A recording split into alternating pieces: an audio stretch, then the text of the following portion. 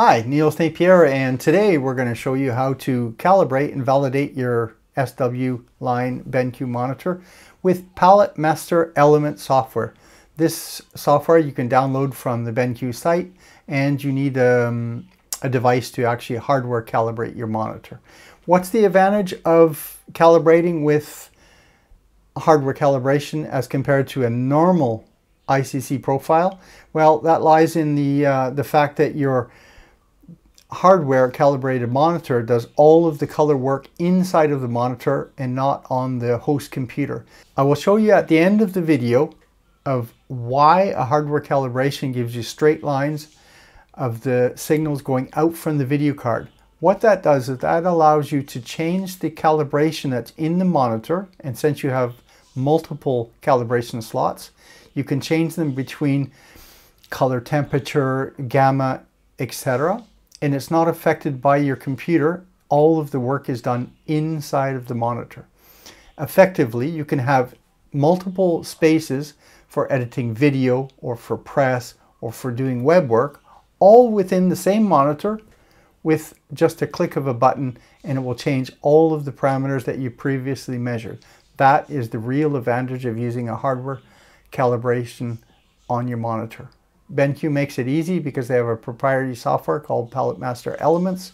It's easy to use and I will show you right now. So you have a choice of your monitors and you can only do BenQ monitors even if there are other things listed. Uh, you have a choice of any one of the devices that are in the list. I personally use the X-Rite i1 Display Pro because it's the fastest instrument out there and it gives me really good results. If you don't have the green check mark, you can press check sensor and it will go and find your instrument. You have your choice of two pages, basic page or advanced where you have a few more settings.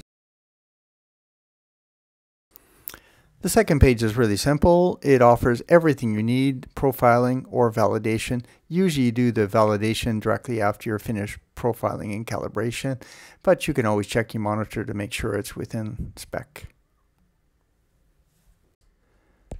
On the display setting page, you have defaults for photography, which is based around Adobe RGB.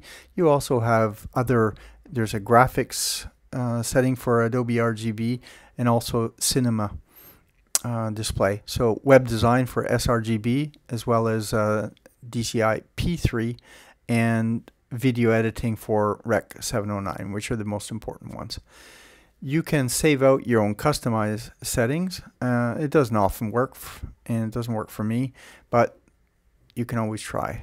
Now, for your white point, the choices of the white point are D50, D65, or P3 and those once you click on another radio button it will go into uh, whatever fields. XY is is quite interesting because you can actually customize it to um, say DCI settings or even a custom uh, setup for your monitors. Uh, Kelvin temperature is here's where you're going to personalize your actual Kelvin temperature and starting with D65 but you can also go to any other setting in Kelvin that you like once you've changed any of the settings, it will say custom settings, and that's where you can save it out as your own personalized, but it doesn't work for me. Now, Adobe primaries are what the monitor and the panel are set up for, but if you're working in um, any other color space, you can actually target it directly, and you probably have a little bit finer precision. So for most photographers, you want the maximum color, so Adobe RGB is good. Uh, luminance, that's the most important thing, what you're setting. And I recommend that you set this to around 120 candela or nits um, because the, um, the default 160 is too bright. Now, gamma. Gamma you don't really need to change unless you're working in, say, Rec 709, and then you can change it uh, there as well. There is a setting for L star, which is um, a power curve that's added into the uh, the actual gamma, and some people have good luck with that. I don't really think it's necessary. Black point. Relative is how you do scaling inside of the uh, profile. So it picks the um, the actual measured black point and says that's the darkest it will go, and then it scales up from there. Absolute if your monitor has some problems or if you're working in a very bright room, you might see it might appear to be blocking a little bit. Other than that, you have a choice of display mode for uh, XY or UV. That's all there is to it. I just want to say the real advantage of having calibration slots for hardware calibration inside of the monitor are that you can use different color spaces for whatever working environments you're editing in.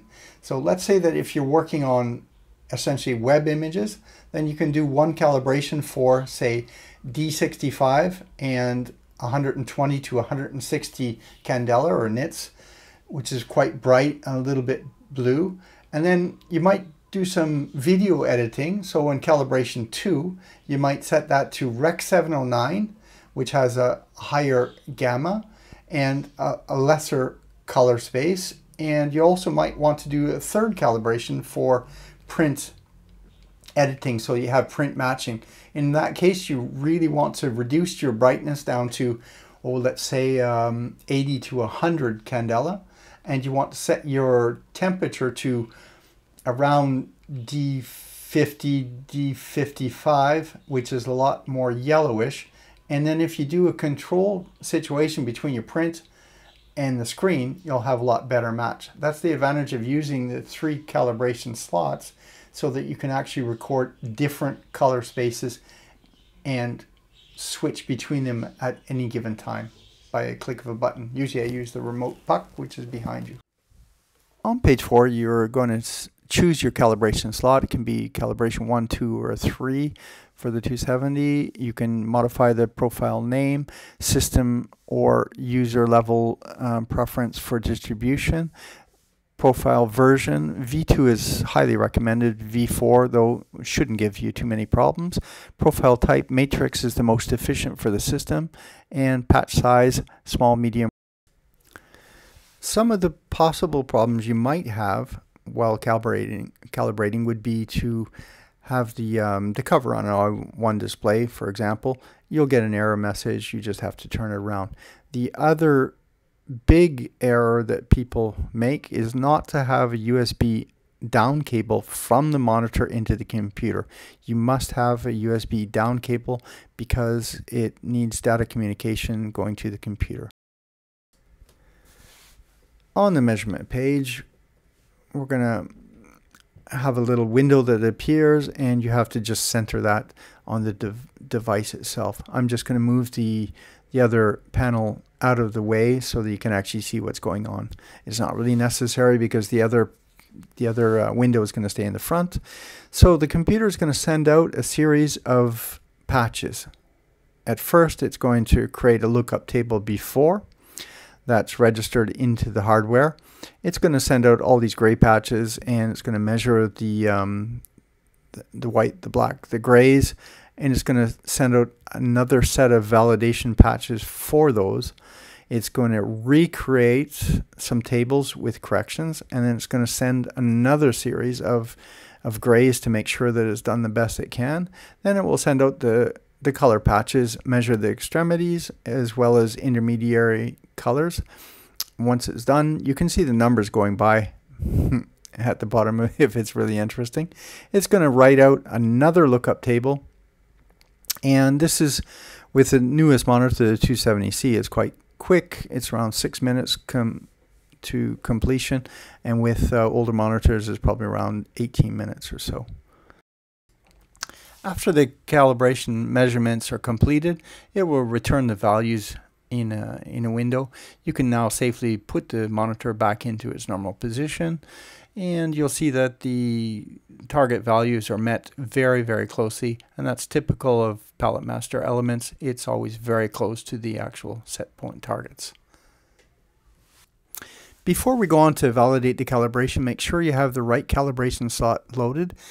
All of the other menus are irrelevant except for setting average and maximum delta E, which will actually show whether or not it fails or passes the validation.